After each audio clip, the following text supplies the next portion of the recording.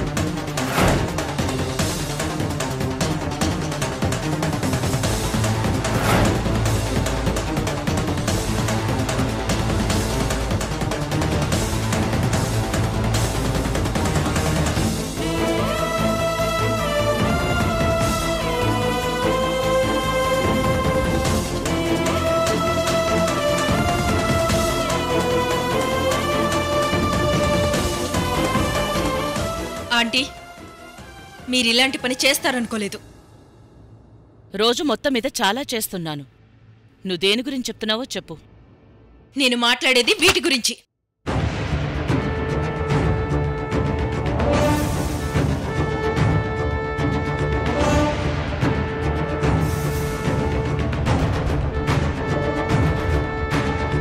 ఇవన్నీ అపర్ణ అరవింద్ గురించి రాసుకుంది. అంటే అపర్ణ ఇంతకాలం ఇక్కడే ఉందన్నమాట. ఎందుకు చేశారు ఇదంతా? నా కళ్ళు కప్పి నాటకాలు ఆడాల్సిన అవసరం ఏమొచ్చింది? దామిని అమ్మతో అలాగేనా మాట్లాడేది? అమ్మ ఏ పని చేసినా న్యాయం ప్రకారమే చేస్తుంది. ఓహో ఒక నేరస్తురాలికి. అదే ఒక హంతకురాలు అపర్ణకి. ఇంట్లో ఆశ్రయం ఇవ్వడం న్యాయమా? కాదు. నేను నేరస్తురాలికి ఆశ్రయం ఇవ్వలేదు. ఒక నిస్సహాయరాలైన ఆడపిల్లకి చెయ్యని తప్పుకి శిక్ష విధిస్తుంటే అడ్డుపడ్డాను. ఆమెపై పడ్డ రాళ్ళని ఆమె చుట్టూ కోటలా పేర్చాలనుకున్నాను. నా దృష్టిలో అది తప్పు కాదు.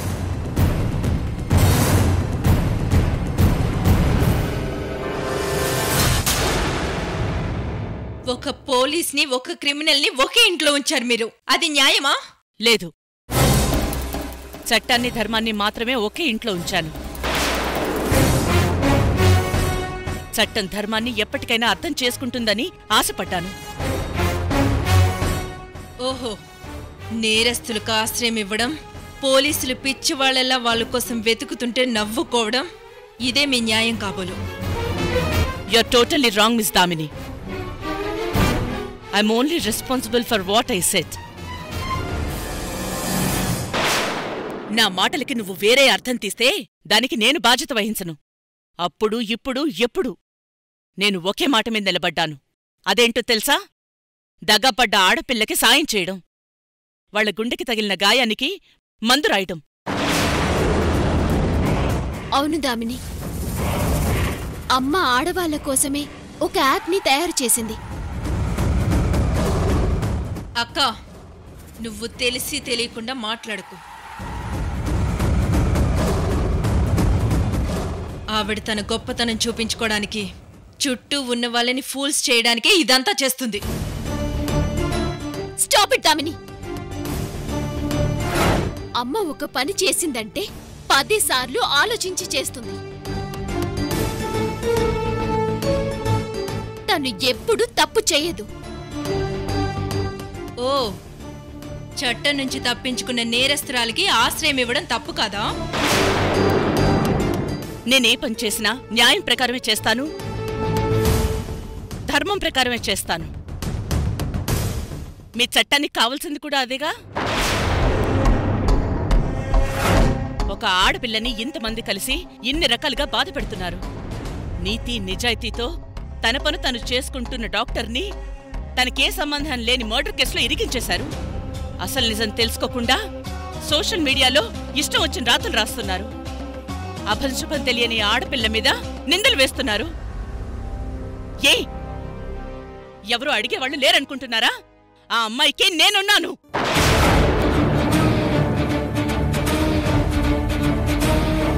అసలు ఆ అమ్మాయి క్రిమినలో ఇన్నోసెంటో తేల్చాల్సింది మీరు కాదా ఆంటీ? కోర్టు. కరెక్ట్. అప్పుడు ఆ కోర్టు తీర్పు వచ్చేంత వరకు అందరం సైలెంట్గా ఉండడం మంచిది. ముందే ఆమె క్రిమినల్ అని తన క్యారెక్టర్ అసాసినేషన్ చేయకండి.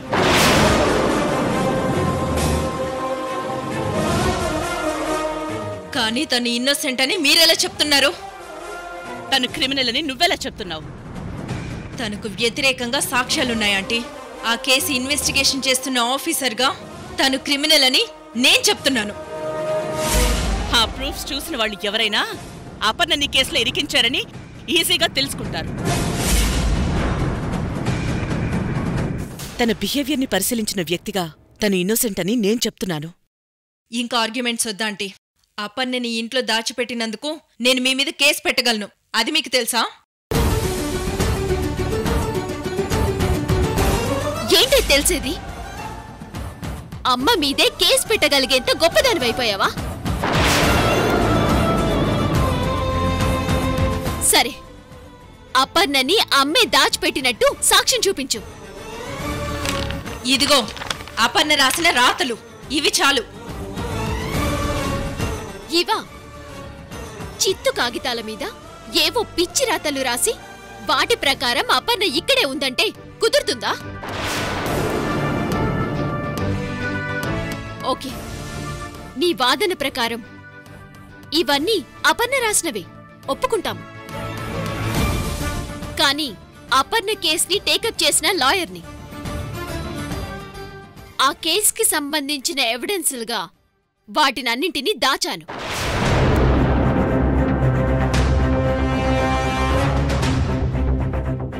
నా అనుమతి లేకుండా నేను సేకరించిన ఆ సాక్ష్యాధారాలు తీసుకున్నావని నీ మీద రివర్స్ కేసు పెడతాను.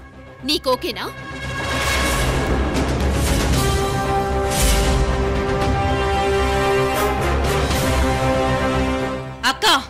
దామిని అమ్మని ఎదిరించి మాట్లాడడం నాకు నచ్చదు. గుర్తుపెట్టుకో.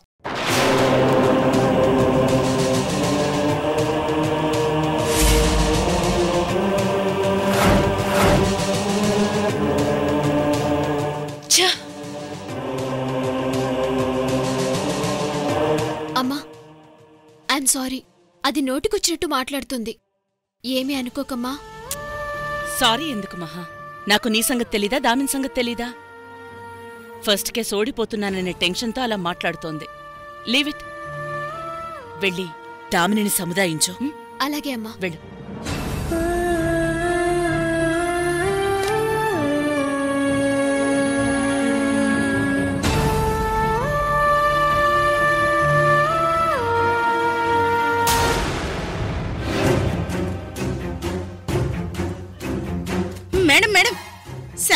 ఖైదీకి కడుపు నొప్పి వచ్చింది. బాధతో విలవిల్లాడిపోతుంది. త్వరగా డాక్టర్కి ఫోన్ చేయండి మేడం.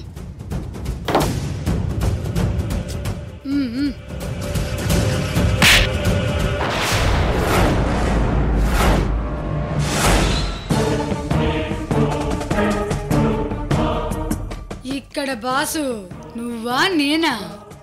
మీరే మేడం? మరి నువ్వు ఆర్డర్ వేస్తున్నావేంటి చచ్చిపోతుంది మేడం. పోనీ. చచ్చిపోని. అలాంటి క్రిమినల్ చచ్చిపోవడం వల్ల దేశానికి ఏమీ నష్టం లేదు. ఏంటి? పెగ్గేస్తావా ఎదవ డిస్టర్బ్. ప్రతి చిన్నదానికి మేడం అంట వస్తుంది.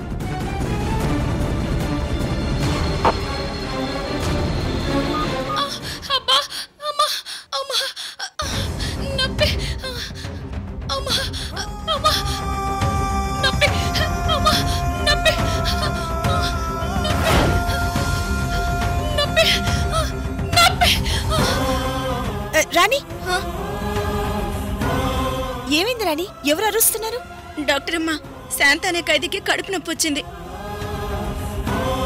నొప్పి తట్టుకోలేక అలా అరుస్తుంది. సరే సరే. సెల్తి నేను చూస్తాను.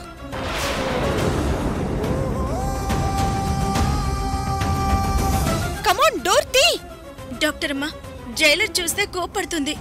వెళ్ళి పర్మిషన్ తీసుకొని వస్తాను. హూ ఇస్ ద జైలర్ అవతల ప్రాణాలు పోతుంటే నువ్వు జైలర్ పర్మిషన్ అంటావేంటి?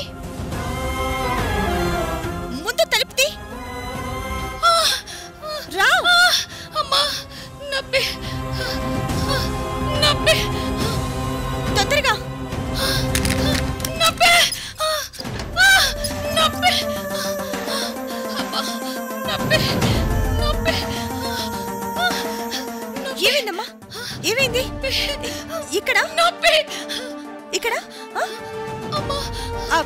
ఫస్ట్ ఎయిడ్ కిట్ ఉందా? ఉంది డాక్టర్ అమ్మా.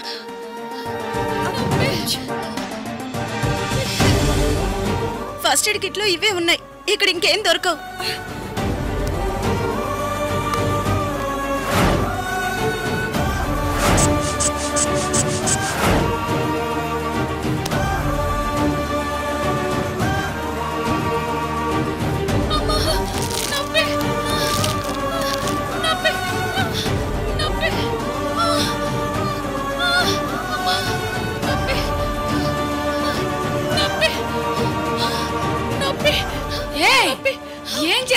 ఇక్కడ నా పర్మిషన్ లేకుండా ట్రీట్మెంట్ చేస్తున్నావేంటి?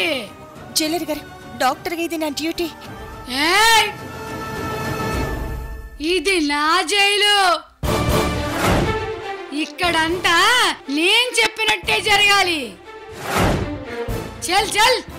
దాన్ని వదిలేసి నీ సెల్లోకి నువ్వు వెళ్ళు.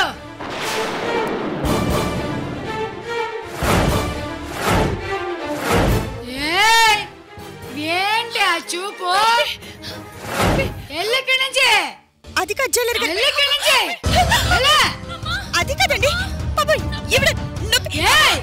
చెప్పింది అర్థం గారు. ఇంజెక్షన్ అది కాదు.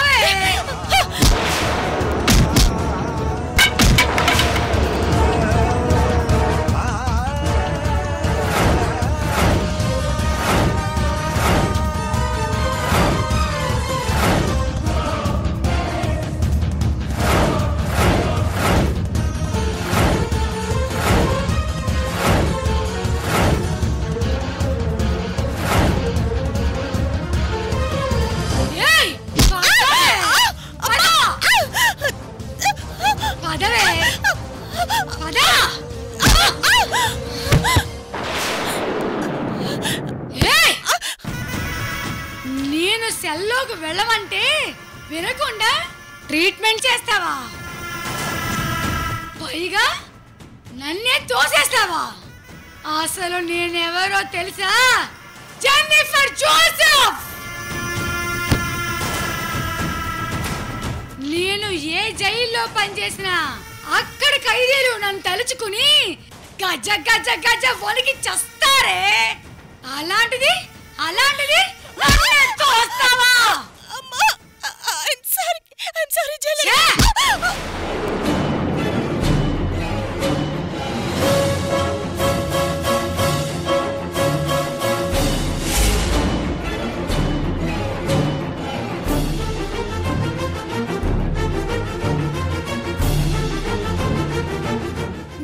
కళ్ళ ముందు ఒక పేషెంట్ బాధపడుతుంటే చూడలేకపోయాను.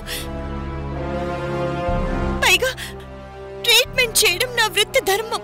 అది నీ వృత్తి ధర్మం అయితే నీలాంటి పొగరుబోతు ఖైదీల్ని దారిలో పెట్టడం నా వృత్తి ధర్మం.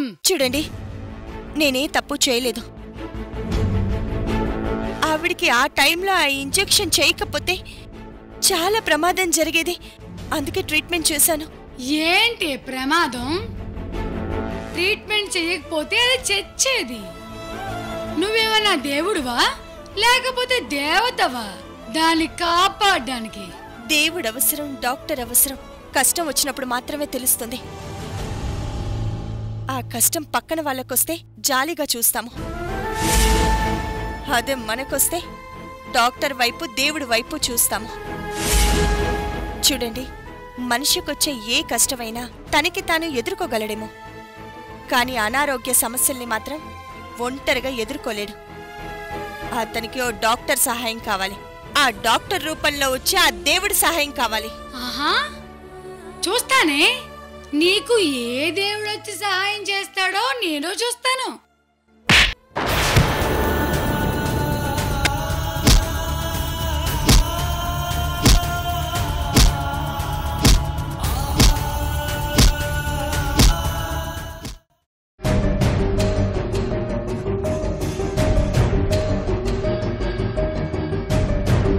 నేను నేరస్తురాలికి ఆశ్రయం ఇవ్వలేదు. ఒక నిస్సహాయరాలైన ఆడపిల్లకి చెయ్యని తప్పుకి శిక్ష విధిస్తుంటే అడ్డుపడ్డాను. ఆమెపై పడ్డ రాళ్ళని ఆమె చుట్టూ కోటలా పేర్చాలనుకున్నాను. నా దృష్టిలో అది తప్పు కాదు. నా అనుమతి లేకుండా నేను సేకరించిన ఆ సాక్ష్యాధారాలు తీసుకున్నావని నీ మీద రివర్స్ కేసు పెడతాను. అమ్మని ఎదిరించి మాట్లాడడం నాకు నచ్చదు. ఛ! వీళ్ళంతా ఎందుకు ఒక హంతకురాలికి సపోర్ట్ చేస్తున్నారు? ఇంత దిగులుగా ఉన్నావంటే నేను చెప్పింది నిజమేనన్నమాట. నిజమే కావచ్చు. కానీ అది మీకు చెప్పాల్సిన అవసరం నాకు లేదు. ఓకే. నేను నీకు రోజీ నిజస్వరూపాన్ని చూపించాలనుకున్నాను. పైకి మంచిదాన్లా నటించే ఆవిడ ఎంత క్రిమినల్లో చెప్పాలి అనుకున్నాను. అంతే. కావచ్చు. కానీ అంత మాత్రం చేత మీతో కలుస్తానని మీరు వేసే ప్లాన్స్ అన్నిట్లో పార్ట్నర్ అవుతానని అనుకోకండి. అవ్వాలి. విడివిడిగా ఉండి ఆ రోజీ ఆట కట్టించలేం. మనం కలిసి పనిచేయాలి.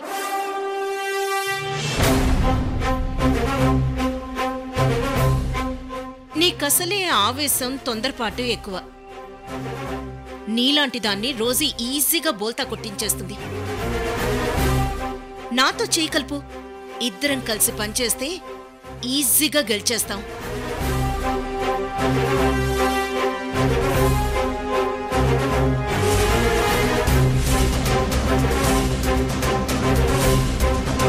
కుదరదు. మీరే చెప్పారుగా ముళ్ళును ముళ్ళుతోనే తీయాలని. ఒక ముళ్ళుని తీయడంలో సాయం చేసింది కదా అని. మరో ముళ్ళుని పూజ గదిలో పెట్టి పూజించాం కదా? నిప్పుల్లోనే పడేస్తాం. ఎందుకంటే అది కూడా గుచ్చుకుంటుంది కదా. అది కాద్దామిని ఒక్కసారి నా మాట విను. నేనేది ఇన్నిసార్లు విన్ను. ఒక టాపిక్పై ఇన్నిసార్లు మాట్లాడను. మీరే చెప్పారుగా నాకు తొందరపాటు ఎక్కువని ఆవేశపర్రాలనని. వెళ్ళండి. దామిని నీకు విషయం అర్థం కావడం లేదు.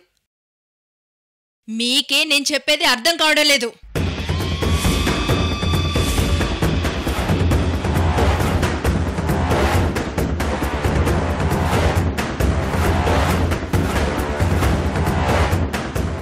మర్యాదగా వెళ్ళిపోండి లక్ష్మి గారు.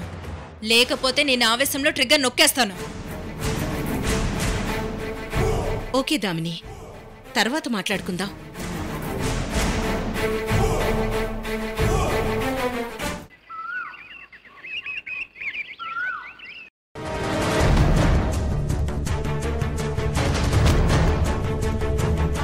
దామిని ఏం చేస్తున్నావు? అన్ని బట్టలు సర్దుకుంటున్నావెందుకు? నేను ఇంట్లో ఉండడం లేదక్కా. నేను వెళ్ళిపోతున్నాను.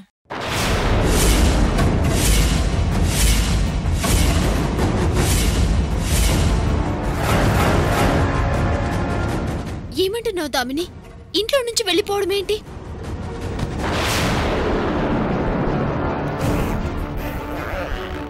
నిన్నే అడుగుతుంది సమాధానం చెప్పవే. కారణమేంటో నీకు తెలుసు నాకు తెలుసు. మళ్ళీ దాని గురించే వాదించడం నాకిష్టం లేదు. అమ్మా! అమ్మా!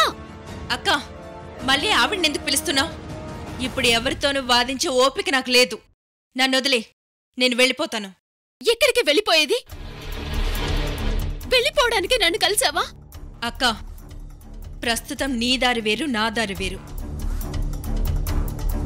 వెళ్ళేదారులు ఒకటి కానప్పుడు కలిసి ప్రయాణం చేయడంలో అర్థమే లేదు. ఏమైంది మహా? ఏమైంది? అమ్మా ఇది చూడు ఇల్లు వదిలి వెళ్ళిపోతుందంట.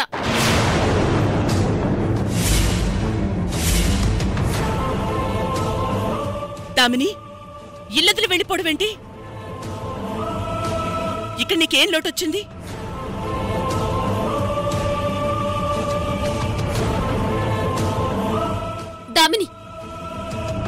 ఏంటా నిర్లక్ష్యం? అమ్మ నీతోనే మాట్లాడుతుంది. నేనెవ్వరినీ నిర్లక్ష్యం చేయడం లేదక్కా. నేను ఇంట్లో ఎవరితోటి వాదించదలుచుకోలేదు. వాదించడం వల్ల ఉపయోగం లేదన్న విషయం నాకు తెలుసు. అందుకే సైలెంట్గా వెళ్ళిపోతున్నాను. కుటుంబం అన్న తర్వాత అందరూ ఒకే మాట మీద ఉండరు. అంత మాత్రానా? ఎవరికి వాళ్ళు విడిపోతారా? తప్పదాంటీ నేనున్న ఇంట్లోనే ఒక హంతకురాల్ని దాచారు మీరు. అది తలుచుకుంటేనే నాకు చాలా బాధగా ఉంది. మీరు హంతకురాలు తరపున నేను చట్టం తరపున ఒకే ఇంట్లో ఉండి పని చేయలేం. అందుకే నేను వెళ్ళిపోతున్నాను.